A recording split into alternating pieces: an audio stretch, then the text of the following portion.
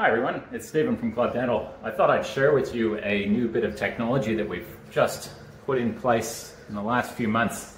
It's a uh, airflow. It's an EMS airflow, and what it looks like is this guy here. And uh, what we're doing is we're using that to clean your teeth.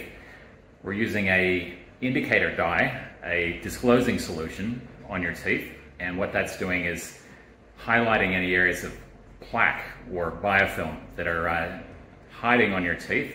Most of that is actually translucent or tooth colored, so you don't actually know it's there.